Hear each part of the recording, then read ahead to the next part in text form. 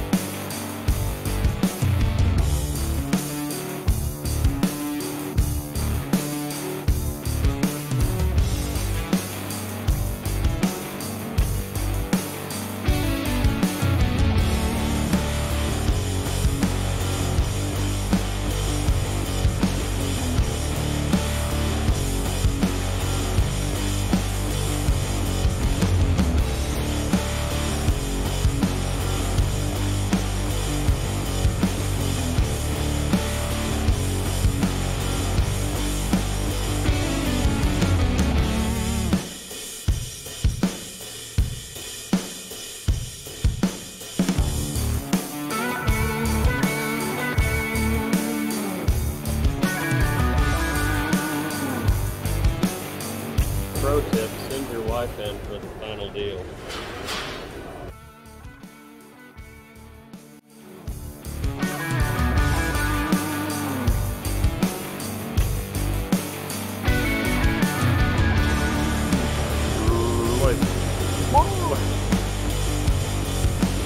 Alrighty, so that's what's gonna wrap this one up. Hopefully you guys enjoyed the video. We didn't really score a lot up there. We did we did get this uh, 64C10 grill for Luke's truck, which is the uh, Left for Dead truck that we kind of did a little bit of a revival on. He also did manage to pick up some uh, cab supports because the cab supports on that truck are pretty rotten.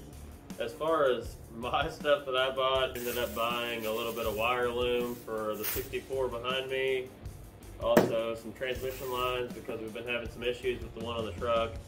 And also this sprint car, which that's what I'm calling it, a sprint car style air cleaner. That's what I ended up picking up. Didn't really score a lot this year. It didn't seem like they had as much stuff for the 64 to 66 trucks. That's basically what we were mainly hunting for. But Kyana is a great show and I highly recommend you check it out if you're in the area. Usually every March around the second or third weekend. So if you're around the area and you're looking for some car parts, I highly suggest you check it out. And until the next one, I'll see you guys.